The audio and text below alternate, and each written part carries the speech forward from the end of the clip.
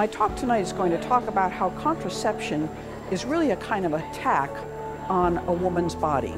That the chemical contraceptives are really used as so called medicine, as though there were something wrong with a woman's body because she's fertile. All of these chemicals that go into a woman's body cause all sorts of problems irritability, fatigue, weight gain, depression, even uh, a higher incidence of some forms of cancer. My point is that a woman's body is, when it's fertile, is very healthy, and we shouldn't treat it as though it were unhealthy. Contraception is kind of saying that women should have the body of men, uh, bodies that can have sex without getting pregnant.